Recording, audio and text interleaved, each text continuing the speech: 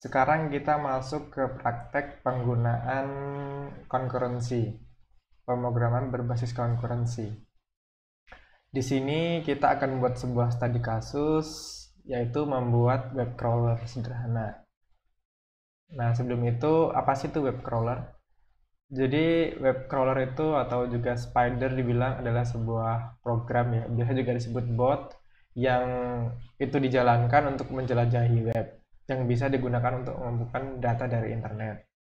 Hasil dari data yang didapat itu bermacam-macam, bisa digunakan untuk uh, machine learning atau seperti Google dan Bing menggunakan web crawler ini untuk mengumpulkan data yang nantinya bakal digunakan untuk indexing web yang digunakan untuk mesin pencari gitu ya. Nah, kemudian Nah, sekarang kita coba deh bikin uh, web crawler dengan Golang gitu. Nah, di sini kita akan bandingkan uh, apa sih keuntungannya menggunakan konkurensi di Golang itu, apa yang akan kita dapatkan gitu kan. Kita bandingkan uh, dengan proses yang seperti biasa, yang rekursif dengan uh, seperti apa hasilnya. Oke, okay kita buat uh, web crawler yang sinkronus ya, yang dia itu akan melakukan proses ke proses yang selanjutnya setelah proses yang sebelumnya itu selesai. Mari kita langsung praktek saja. Uh, kita buat file baru, uh, crawler one gitu, katakanlah itu. Uh, di sini kita perlu uh, go mode init uh, jadi biar di sini ada golang modul kemudian kita uh, ambil package. Di sini nanti kita akan mengunjungi uh, web melalui URL kemudian mengekstrak isinya kita ambil linknya. Untuk itu kita bisa menggunakan ini Go Query. Ini ya semacam library yang digunakan untuk parsing dokumen HTML. Oke, yang pertama kita buat uh, main function. Di sini kita mau uh, if nos arts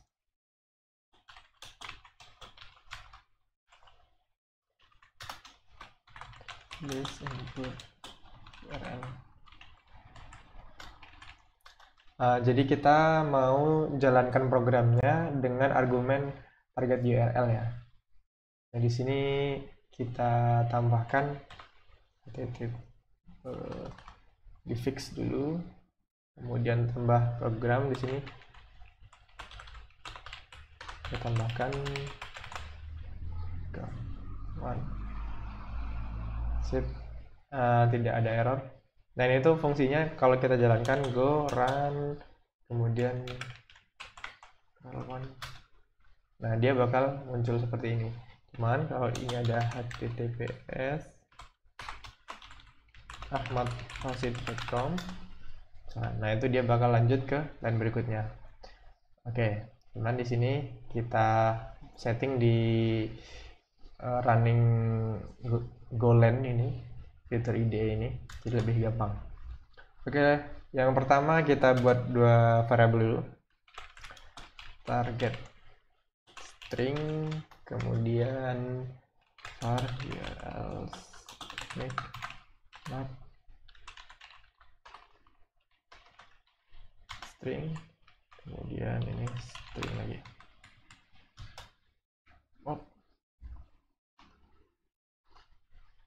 Oke, target ini kita untuk uh, ngambil data input argumennya. Caranya cukup gampang saja. Target sama dengan OS ARGS 1. Nah, ini. Nah, URL sini gunanya kita mau uh, eh, URL yang kita ekstrak dari link yang kita kunjungi nantinya itu tidak duplikat gitu ya. Oke, uh, sekarang kita buat sebuah metode function uh, run crawler gitu yang mengambil sebuah uh, URL kemudian di sini kita URL-nya nggak mau kalau dia itu kosong kalau kosong kita tutup fungsinya gitu. oke di sini uh, if ini uh, oh ini URLs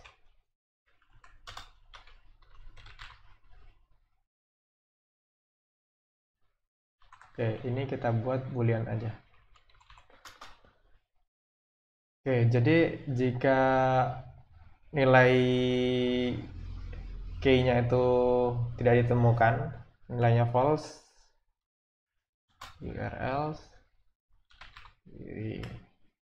Sama dengan true. Nah, jika itu udah ada berarti dia duplikat. Nah, ini kita return aja.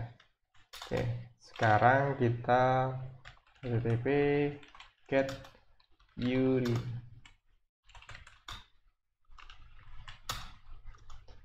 nah, kalau ada error kita return aja kita tampilkan errornya apa?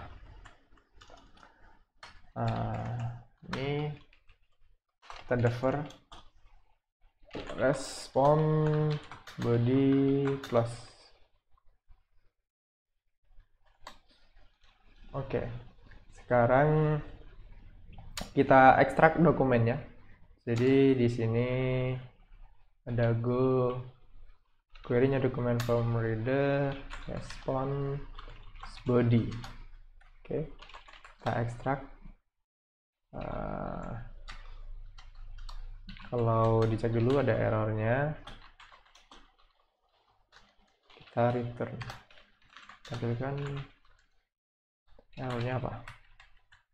Nah, sekarang kita ambil tag A gitu ya.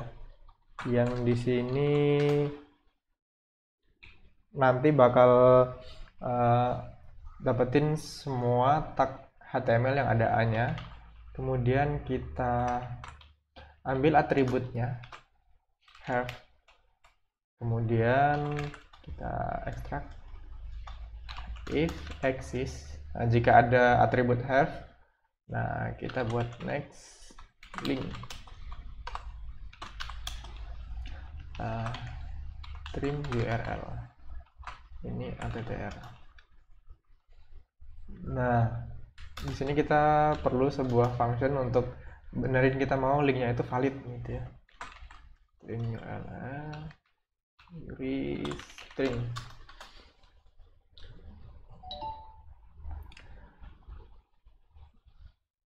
Oke, uh, kita yang pertama perlu trim suffix.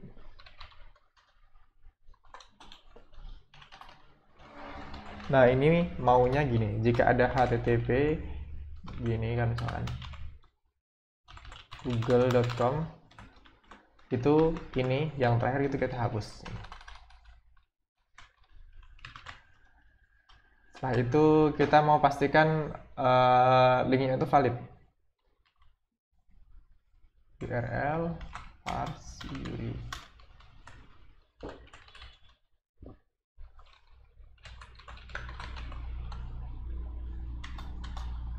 If errornya nggak kosong, berarti uh,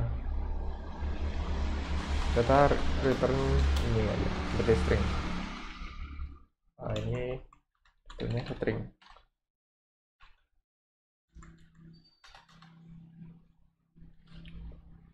nah valid eh, karena nanti email tuh di, di apa di eh, link A itu bisa ada itu nanti mail tuh kayak gitu. Jadi kalau mail kayak kan bukan bukan sebuah URL yang valid untuk dikunjungi.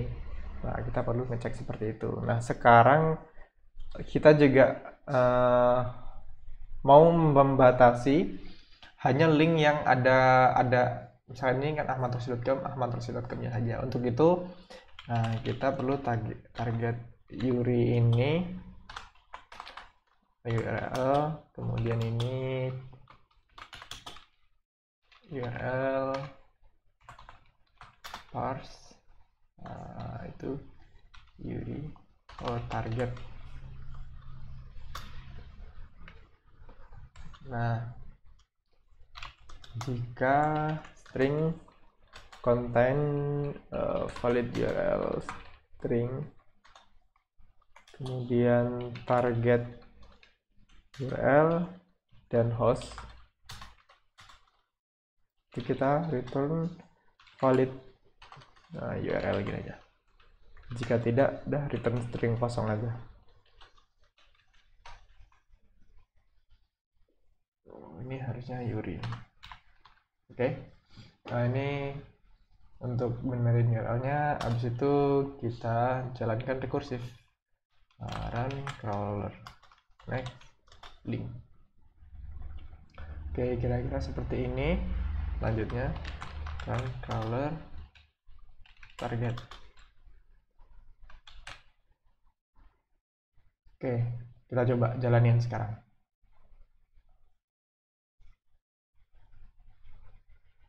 Oke jalan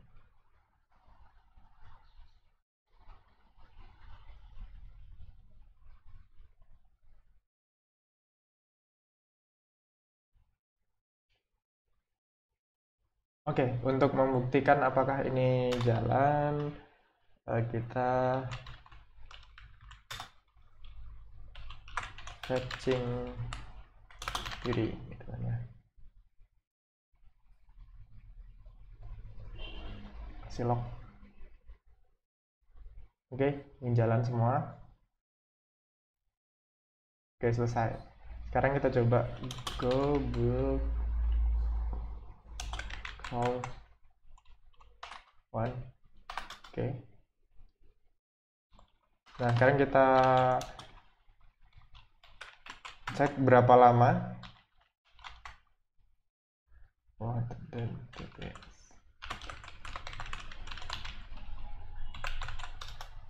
berapa lama waktu yang dibutuhkan untuk ngambil semua link yang ada? Oke okay. sini terlihat eh, totalnya itu 4 detik. 600 milisecond. Nah, itu adalah cara bikin web crawler ya. Jadi kita ngambil semua link yang ada di ahmadrusi.com ini secara rekursif. Nah, sekarang mari kita buat uh, secara sinkronus ya. Sebenarnya sama, kita copy paste aja, kita bikin baru aja. Hmm. Crawler 2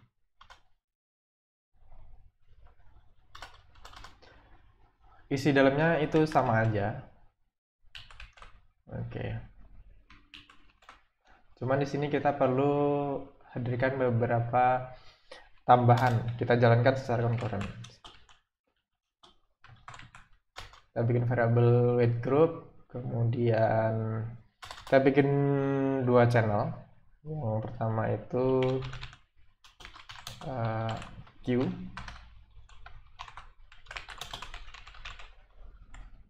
kemudian filter.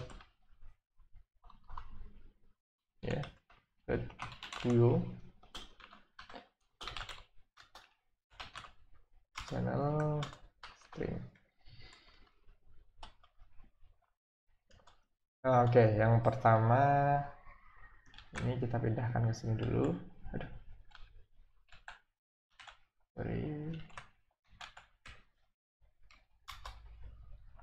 kita jalankan uh, go rutin satu. Uh, ini untuk Q. Kita masukkan target. Oke. Sini kita tambah add group satu. Selanjutnya kita mau jalankan go rutin lagi satu.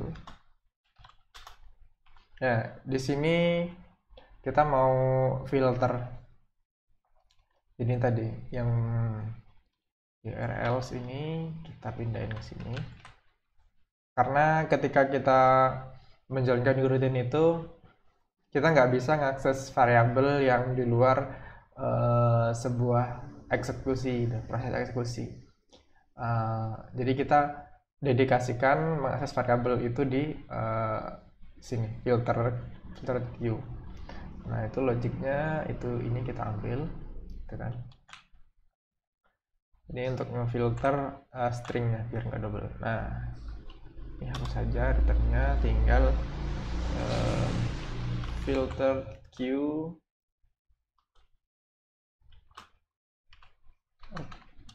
jadi itu nah ini kita buat for query yang oke ini typo kita rename filtered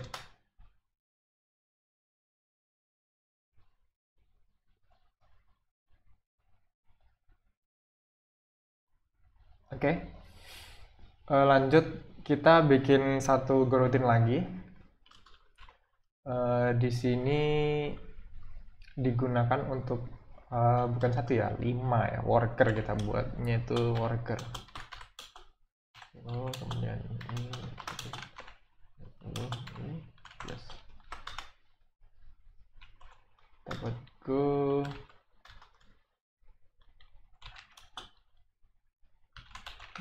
Link filter queue kemudian ini kita run crawler link dan filter. Queue nah ini kita hapus. Kita tambahin satu variable di sini uh, queue some string. Nah, terus sini tambahin lagi. Go function. Nah ini links nah itu. Sini kita caranya mengirimkan uh, data next linknya ke queue. Nanti dari queue masuk ke sini kan di filter dulu. Oke. Okay terus di sini ini fit coba kita jalankan. Error kan klik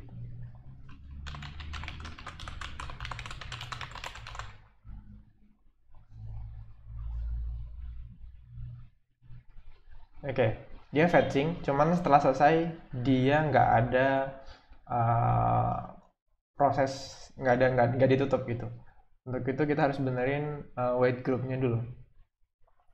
Yang pertama kita di sini.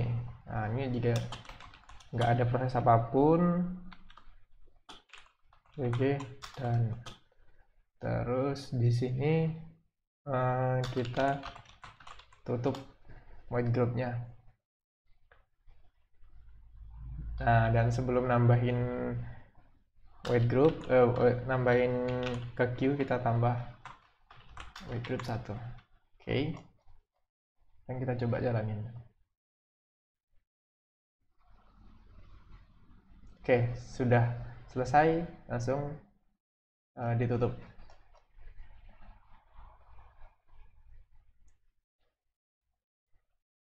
sekarang kita coba blue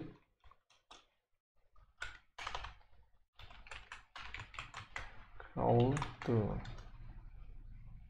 oke dan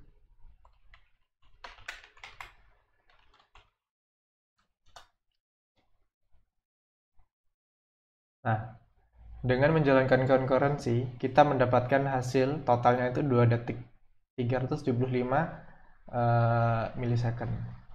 Yang sebelumnya. Nah itu. Dia